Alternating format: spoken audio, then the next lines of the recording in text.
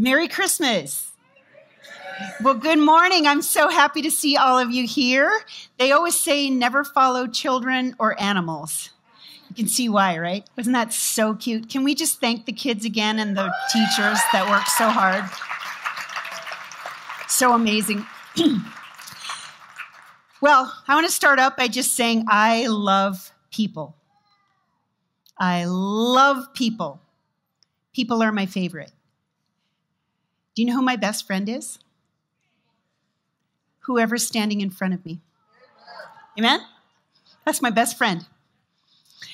And I love studying people. I love analyzing people. I love watching people, not in a creepy way. I love interacting with people.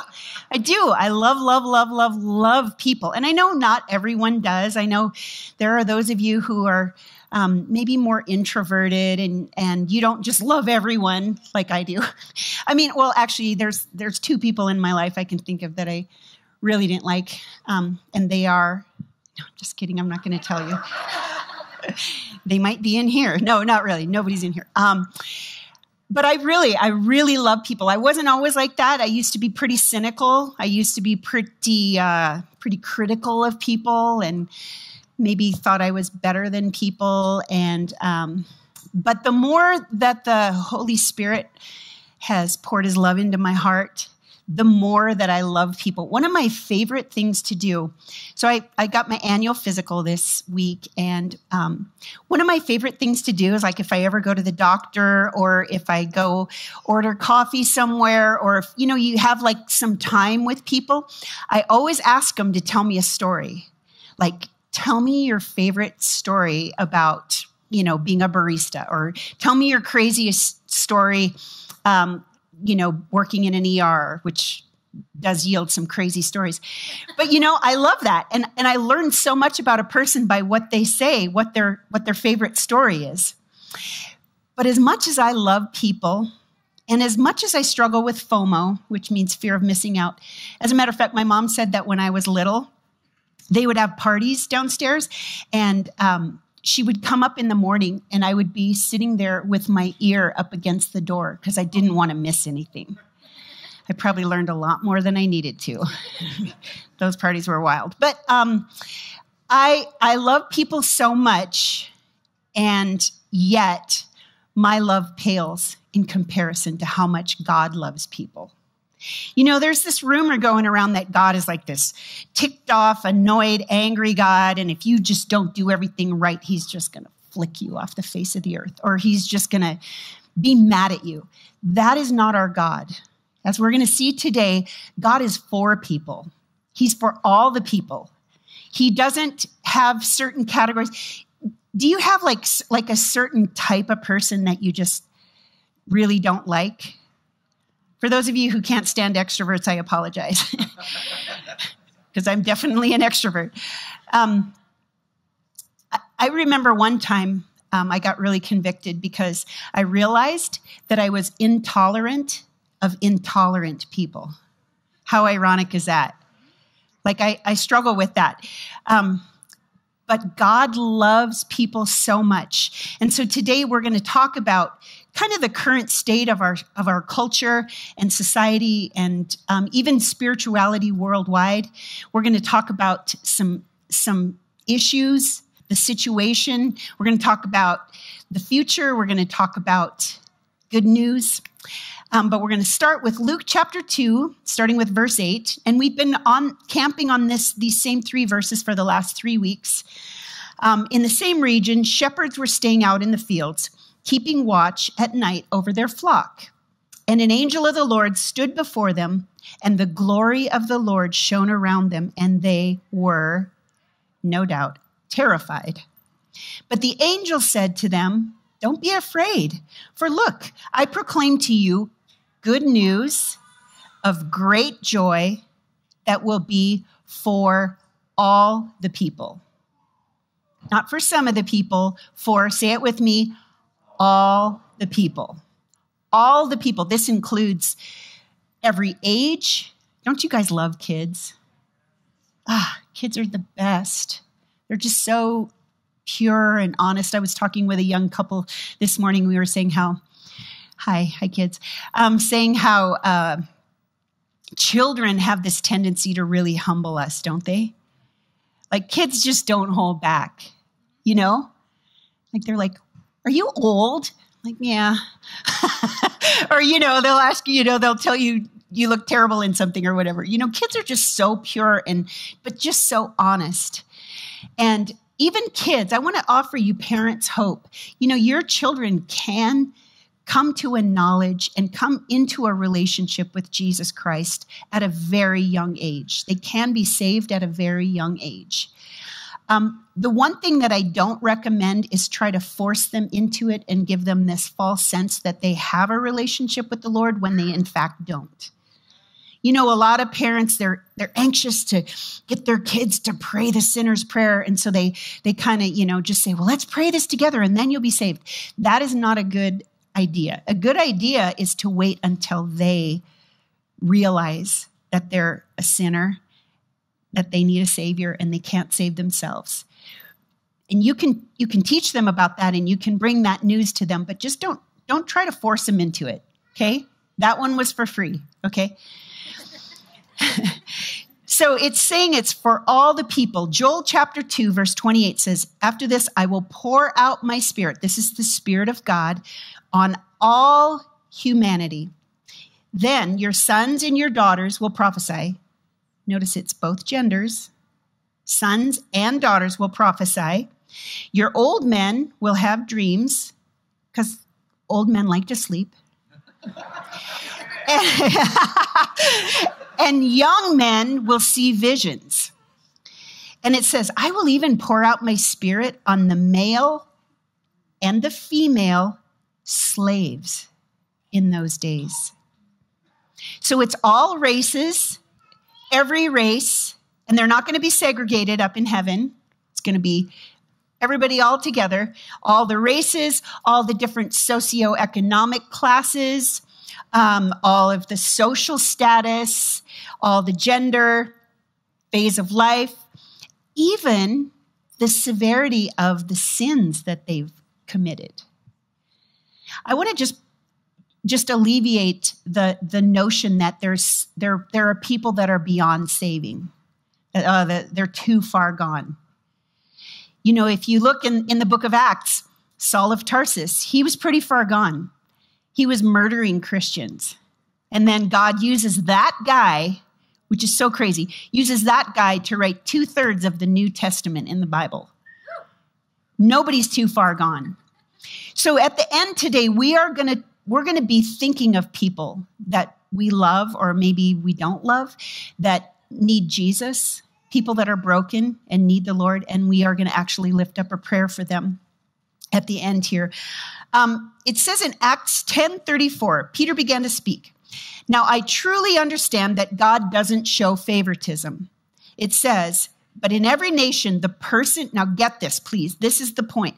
The person who fears him, which doesn't mean like, ah, I'm so scared of God. It means that you, you, you recognize who God is. You realize he is all powerful, almighty, sovereign, all wise, omnipotent, omniscient, omnipresent, which just means he knows everything, he is everywhere, and he is, and, and omnipresent, omniscient, and omnipotent. And he, he knows everything, he is everywhere, and he's all powerful. There you go.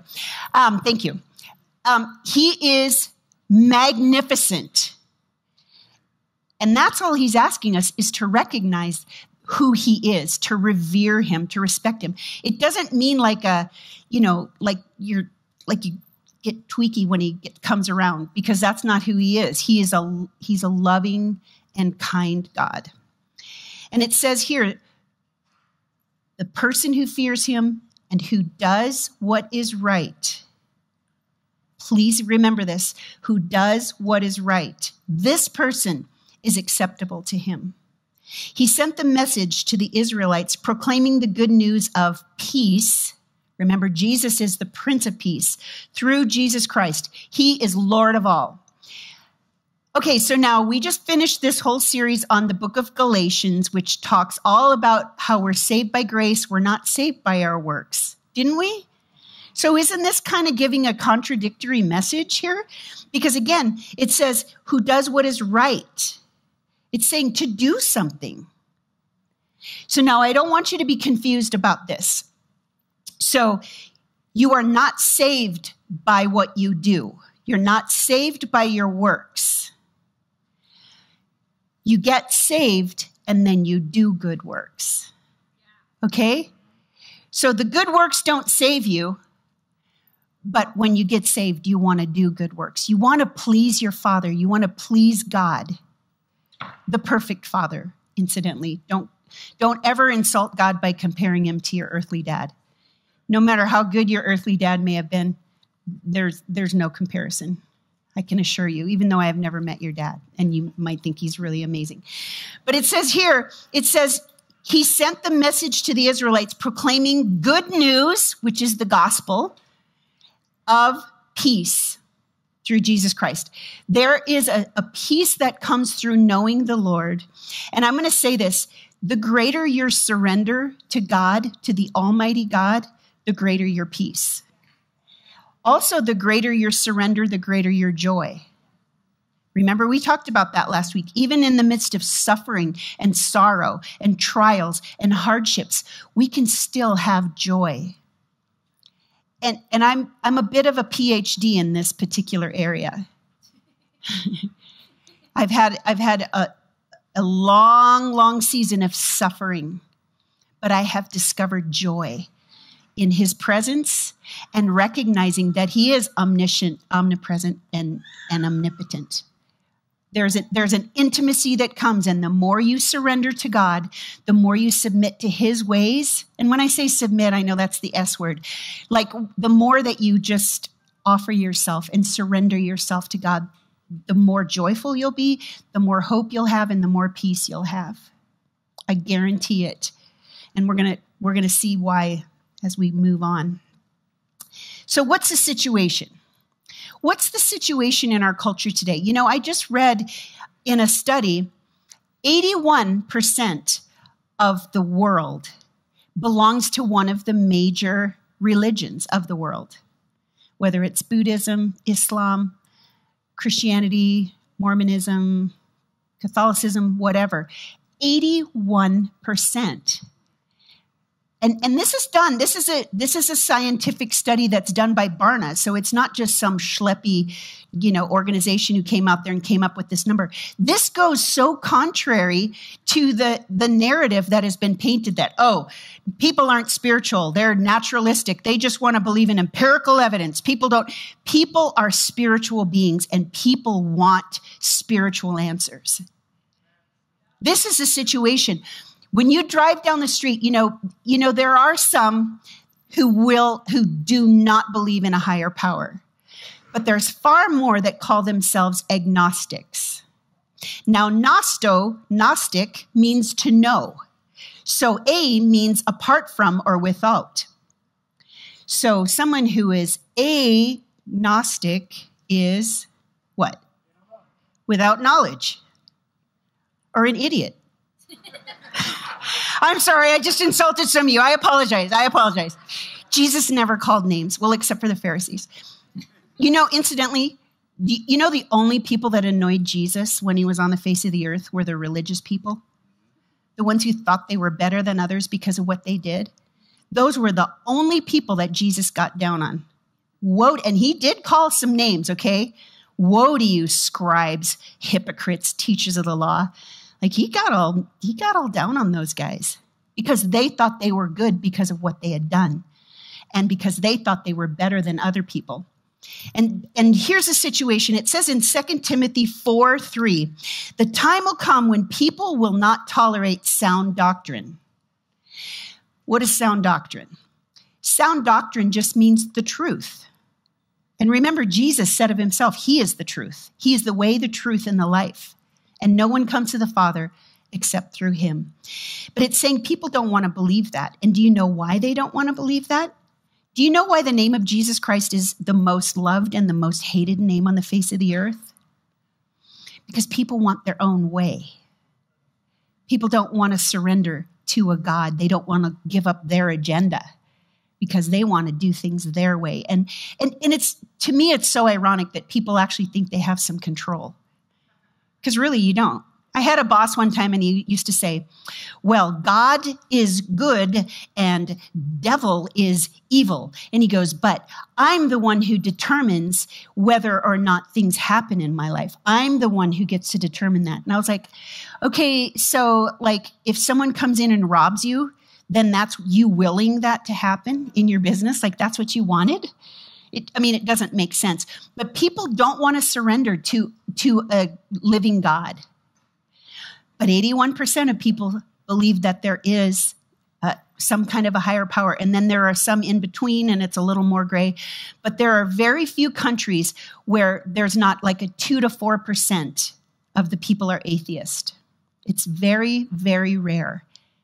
And, and, and yet the narrative that's being written is, oh, the church is going to die. The church. No, Jesus said, I'll build my church and the gates of hell won't prevail against it.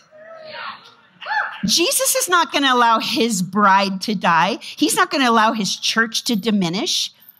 What he's going to do is he's going to prune out the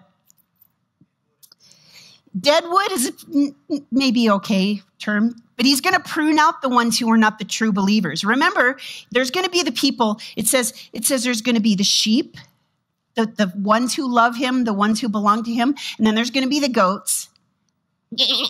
There's going to be the goats who hate him.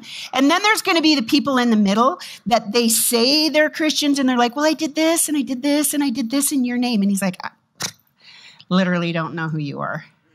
Not that God doesn't know who they are because God is, he knows everything, but he's saying, you didn't do that for me. Either you did it to build yourself up, to feel good about yourself, or you did it to impress somebody else, but it wasn't about me. That's scary.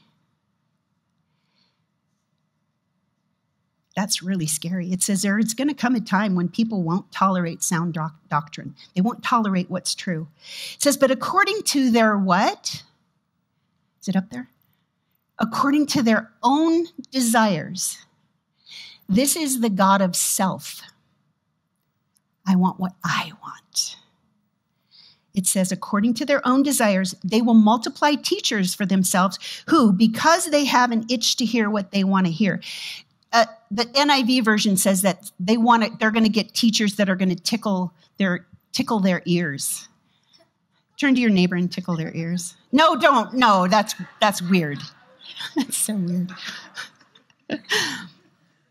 But it's saying that, that because there is this part of us that wants what we want, that is called the flesh. That is called the, the sinful nature. That's called the natural. We must be born again. We must be filled with the Spirit of Jesus in order to truly live and to reign and rule with God one day in heaven. There's a, a theologian a British theologian, and theology just is the study of God. So, this is a guy who studies God for a living. That's his life. He's got a PhD in theology. And this is what N.T. Wright said He said, 80% of what I know about God is wrong. He goes, The problem is, I don't know which 80%. and isn't that true? I mean, if you think about this, now just prepare to have your mind blown. We serve an eternal God. So we are going to spend the rest of eternity discovering more and more and more about Him. Right? Isn't that awesome? He's eternal. So we're going to be forever for the rest of eternity learning more about Him.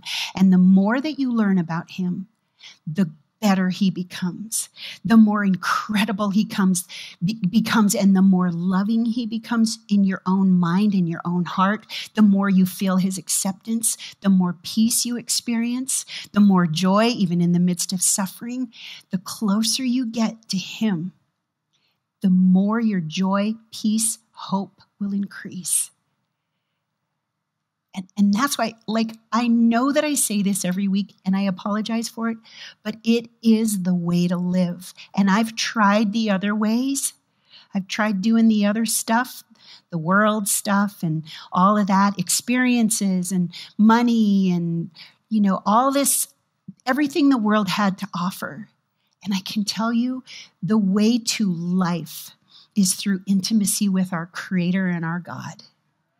This is the way to life. And, and, you can know more and more and more about him because he revealed himself to us in this book.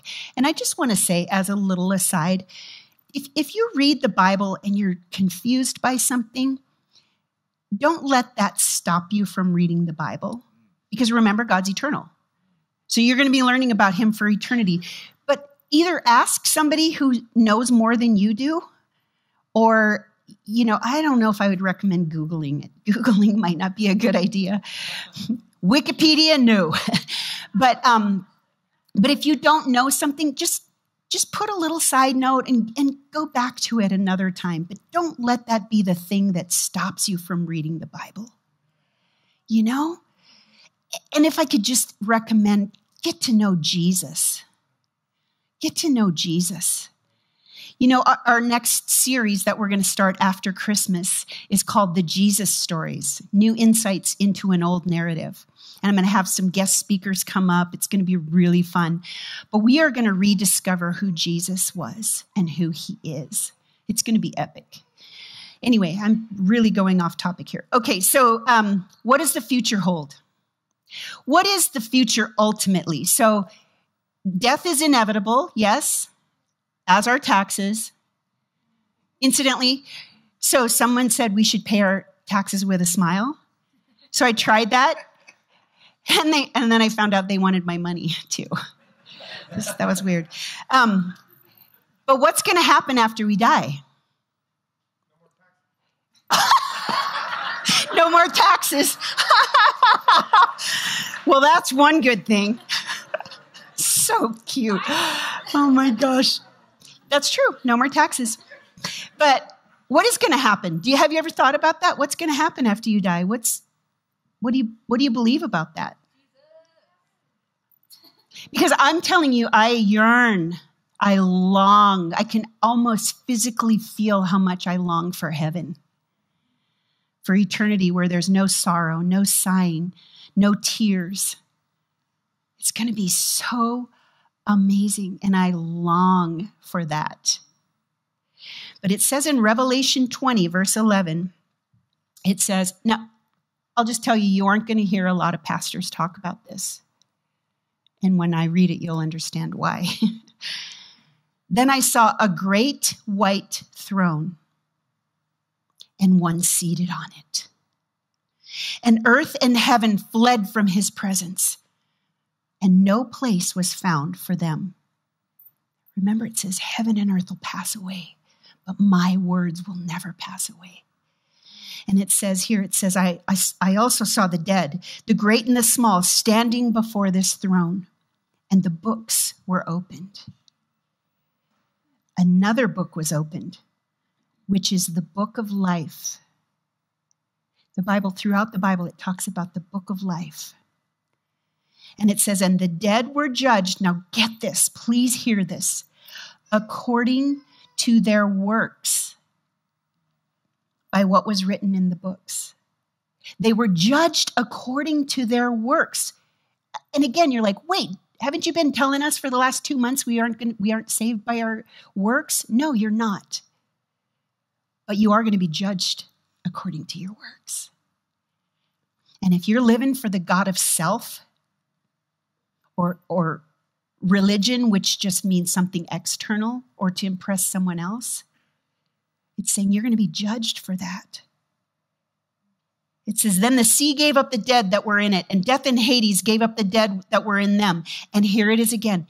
Each one was judged according to their works. Death and Hades were thrown into the lake of fire. This is the second death. And anyone whose name was not found written in the book of life was thrown into the lake of fire. That's scary. That is scary if you don't know Jesus. Because you can say that I'm just standing up here doing hellfire and brimstone or, or you know, some kind of, you know, scare tactic. This is scary if you don't know Jesus. If you know Jesus, you're good. If your name is written in the book of life, you're fine. You will be judged for your works. And so, my recommendation and my encouragement, and this actually is an encouragement, is live for God. Live your life fully surrendered to God. Everything, give it all up for Him, and you will be blown away by His blessings. I promise you, money back guarantee. you will be blessed beyond your imagination. Anyone whose name is not found in the book of life was thrown into the lake of fire. Merry Christmas.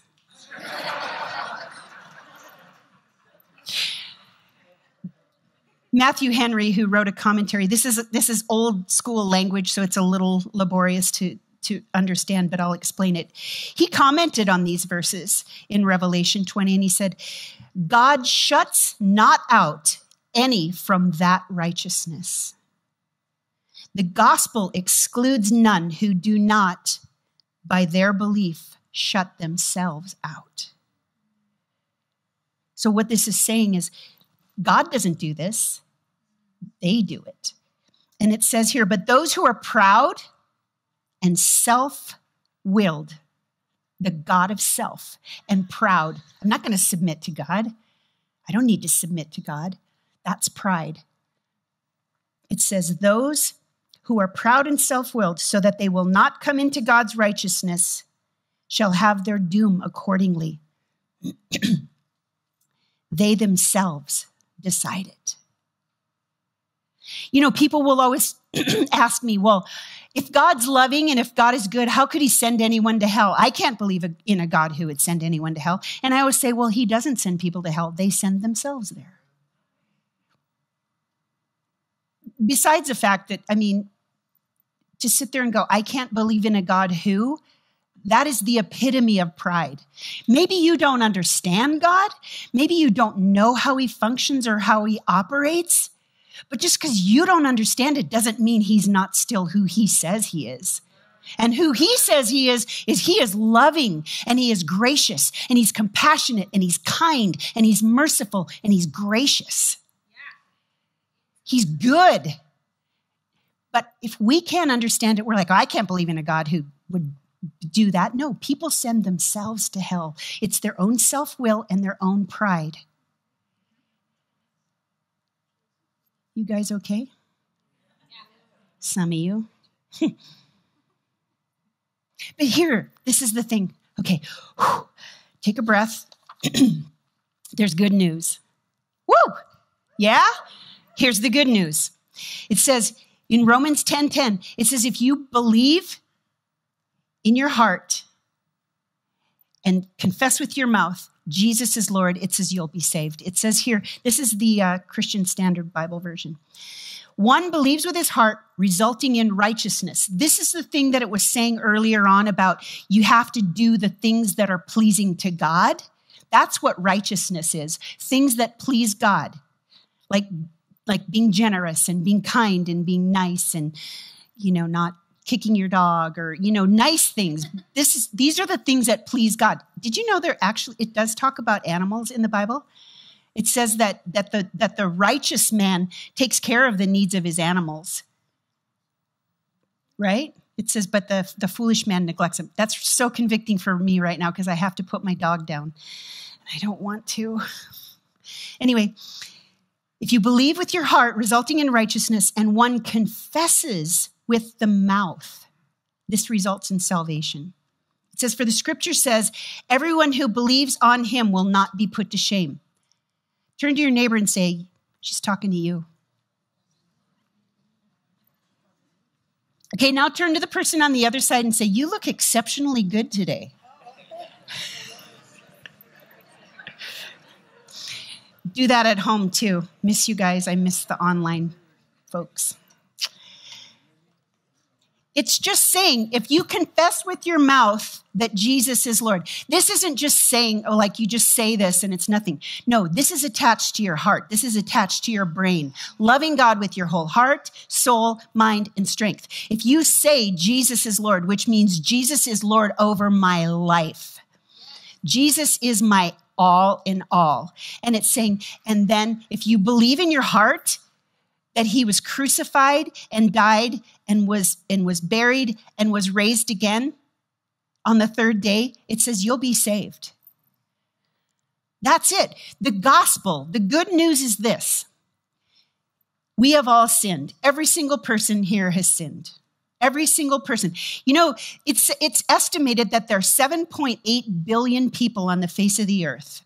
And it's also estimated it's between 117 and 118 billion people have ever lived on the face of the earth. And every single sin that every single human being ever did is washed under the blood of Jesus Christ. That Jesus Christ, who is God Himself, yeah, we can applaud the Lord. That's right. Nobody's too far gone. You might think, you know what, I'm too far gone. I've done some really bad things. Yes, you have, and so did I, and so do I. But yet, God's grace covers over us. The gospel is we've all sinned. None of us are perfect. Jesus was the only perfect human being, and he was God, fully God, fully man. We believe in one God in three persons Father, Son, Holy Spirit. Jesus Christ was God who became flesh and dwelt among us. He became a little tiny baby in a trough. The king of the universe became this little tiny, humble, little helpless baby. Babies are the most helpless human beings on the face of the earth. And that was the form that God Almighty, King of the universe, became. And I think it's symptomatic. It, it, it just shows, it demonstrates that we too are helpless and hopeless, and we can't do anything on our own. But it does say that with God, all things are possible. And it says, I can do all things with Christ who gives me strength. But you got to be plugged into Him. You can't just pray these prayers and then live your life like, you know, just to yourself and to your own selfish desires and expect God's blessing. You get God's blessing when you make Him Lord over your life. Jesus is Lord and you believe that God raised him from the dead. Jesus Christ came, lived a perfect sinless life, and then he allowed himself to be tortured and crucified on a cross so that we could live. And all you have to do is to believe that and to confess it. And this is the next part that we're going to get to. Matthew 5 14, it says, You are the light of the world. He's talking to you. You, and you do look exceptionally good today, by the way. You are the light of the world. It says a city situated on a hill can't be hidden. No one lights a lamp and puts it under a basket. Like that's defeating the purpose, right? It says, but rather on a lampstand, and it gives light for all who are in the house. Now, what this is talking about, I think I, I, kind of questioned, you know, the what is who are in the house? What does that mean? I think that means those who are seeking, those who want spirituality, those who want to know the truth. And it's saying that you will be a light to them. And I just want to ask you flat out are you a light in your neighborhood? How about where you work? How about when you walk into your local coffee shop? Do they groan and run away when you walk in? or do they go, Yay! Let your light shine. If you name the name of Jesus, let, let me ask you this too. Do your neighbors know you're a Christian? Do your coworkers? Or are you hiding your light under a bushel because you're embarrassed or you're afraid of being rejected or you're afraid of maybe losing your job or you're afraid of, of being embarrassed? Are you ashamed of the gospel? Because it says in Romans 1:16 I'm not ashamed of the gospel because it's the power of God for salvation to everyone who believes. I'm not ashamed. Let your light shine. You know, you should have the reputation of being the nicest person at work, the most Christ like person at work, the the, the most loving person in your neighborhood, which is really sad for me because Ira and Cynthia Popper live in my neighborhood. so if it's a competition, dude, I lose. But really, your neighbors should, should think of you as being loving. They should think that you are kind and caring and compassionate. Let your light shine. Your coworkers, you might be the only opportunity that they ever have to hear the gospel of Jesus Christ. You might be the only one. Let your light shine. What does that look like? It looks like laying down your agenda and opening yourself up to the Spirit of God and saying, God, how do you want to use me today in the lives of my coworkers? How do you want to bless my coworkers through me? You know, there are some good works that people do just because it makes them feel good about themselves. And it does make you feel good about yourself when you're doing what God's calling you to do. Because it says that before the foundations of the earth, He's already called us to do these good works. But he's telling us, let your light shine. And it says, No one lights a lamp, puts it under a basket, but on a lampstand, and it gives light for all who are in the house, all those who are seeking, all those who are hungry. You might be the one who gets to introduce somebody to the king of the universe. And let me tell you, I did a lot of drugs in my former life, and there is no greater high no greater high than leading somebody to Jesus. I promise you, it's the best feeling in the world. And the Bible says, whoever wins souls is wise. Okay, so it says, in the same way, let your light shine before others that they may see your good works, not the good works that save you, but the good works that you were called to do according to God's purposes. Okay, that they will see your good works and they will give glory to your Father in heaven. This is the thing. You let the light shine. And you know, and, and lights don't make noise. Except my bug zapper, that makes a lot of noise. but lights don't make noise, they just glow. And I heard a, a friend of mine say one time, love people so much that they start to ask you why. Is that who you are? At work, in your neighborhood, when you go into a restaurant?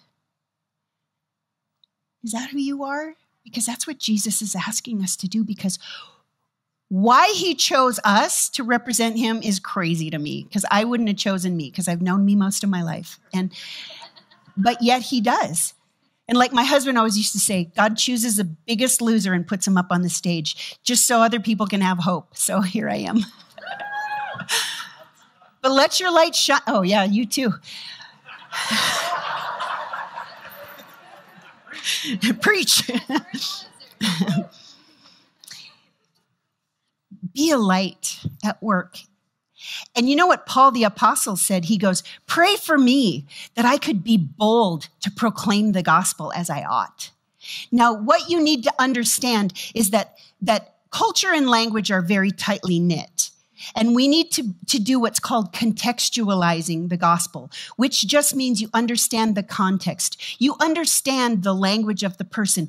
So, for example, let's say um, you, you're talking to somebody and maybe they grew up in a cult or maybe they grew up with some false teaching. You can't come in and just start blasting them, tearing down the way that they were raised. Don't do that.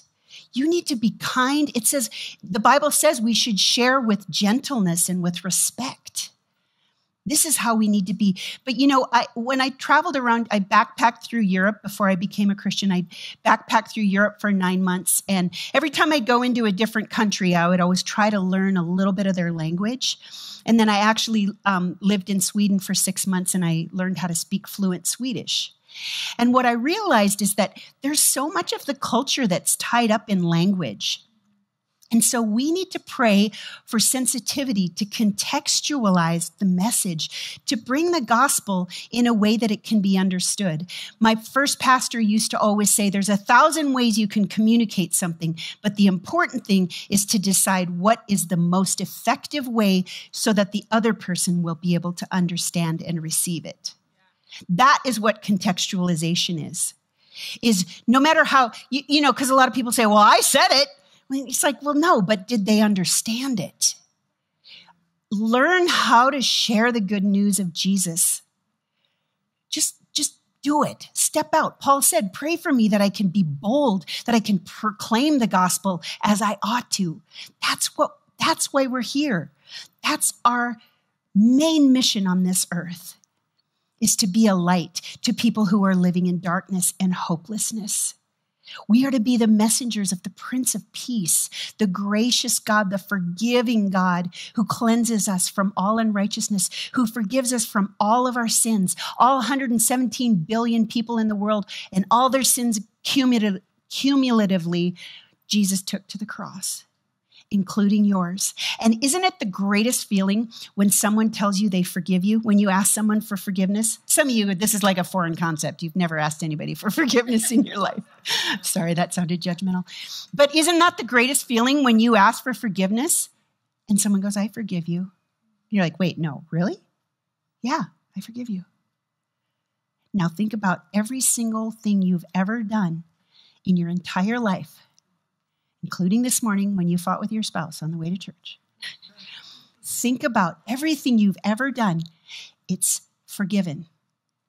And all you have to do is believe that and confess Jesus is Lord, and you will be saved. That's good news. You don't have to earn it, you don't have to strive for it, you don't have to work for it. You just have to believe it. Isn't that great news? And then and then people are like, "Well, but wait a minute. So, I mean, aren't people going to take advantage of that? I mean, aren't people just going to go and do all kinds of sins?" No, because if you're truly born again and you have the Holy Spirit in you, you won't be able to continue to always go down that path, at least not without being very stressed about it, having a lot of angst.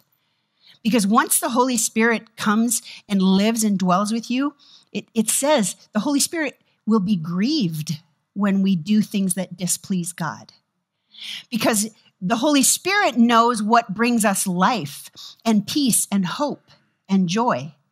So the Holy Spirit will bring conviction, which is actually a good thing, but not condemnation. Romans 8 1 says there's no condemnation if you're in Christ Jesus. And when you stand before that great white throne judgment, they're going to open the books and your name's going to be in the book of life and you're going to be judged according to your works. And today is the day you can turn it around and live for God and do what He's asking you to do. Lay down your life for the sake of the kingdom of heaven. Populate heaven. Bring some people with you. Amen. You know, Christmas is always, um, there's always this weird thing about Christmas because as Bible believing Christians, we believe that it's all about the birth of Jesus Christ. That the fact that he came to earth, Emmanuel, God with us, that he came to earth so that he could live that perfect sinless life and that he could go to the cross so that we could be forgiven and that he would be raised again, raised from the dead, and he would return again and come and take us. And I yearn for that. I yearn for the return of Jesus. And I'm telling you, it's starting, it's the beginning of the end is starting. Call me crazy, but I really believe that, the, that Jesus is going to come back soon. And when that book is opened up and you're judged, you want to you want to have him say, "Good job. Well done, good and faithful servant. Enter into the joy of the Lord." You don't want him to say, "I didn't know you." You don't want you don't want to experience that. And it's up to you. You can make the choice. But at Christmas time, anybody that's ever had kids knows that you can give your kid the greatest gift in the world and they will ignore it and they will play with the box. Right? This is just this is just natural law. That's what Christmas reminds me of. It's like we're so all about the wrapping and the box and the, everything that's surrounding Christmas, but it's all about the gift. It's all about the gift of Jesus who came to earth and who wants to continue to dwell with us by his Spirit. It's about the gift, it's not about the box. I mean, the box is great, the box is pretty, the box is functional.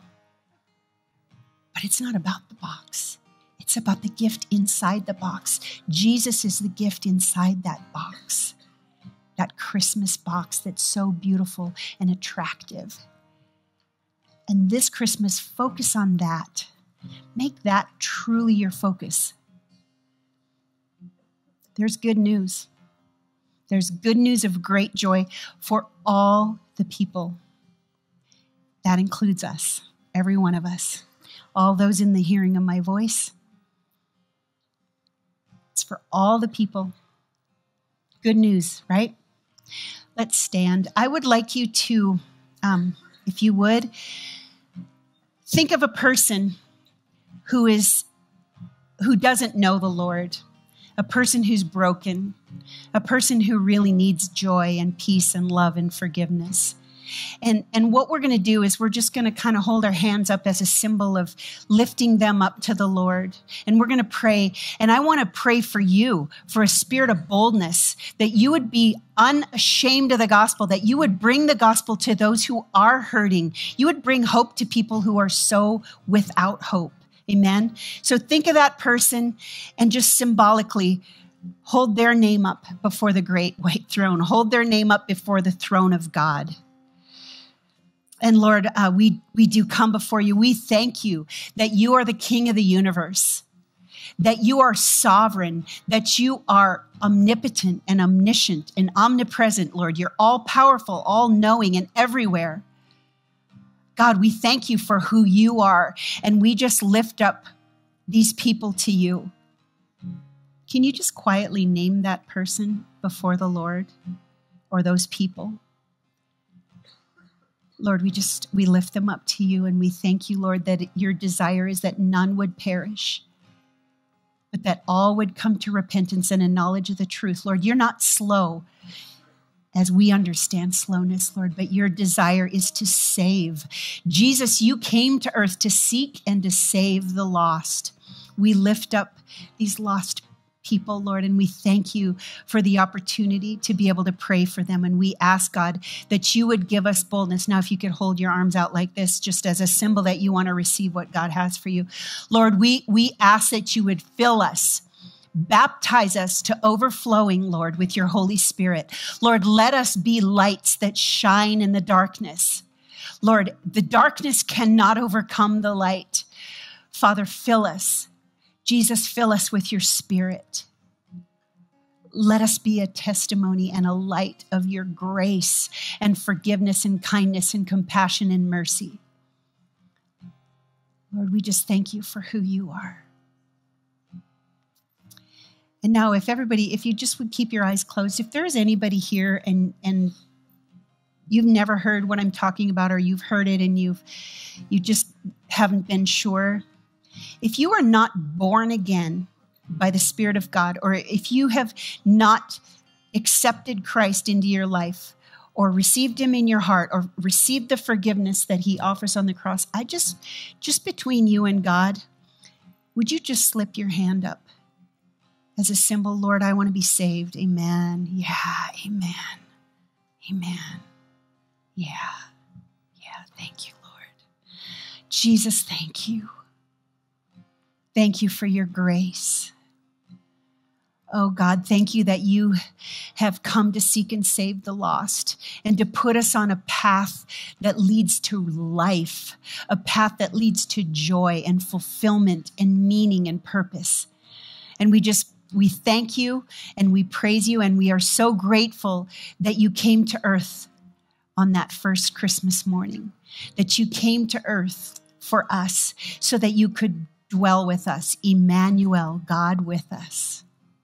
We love you and we bless you in the name of Jesus. Amen. I just want to say one more prayer over you. The Lord bless you. The Lord keep you and protect you. The Lord make his face shine on you.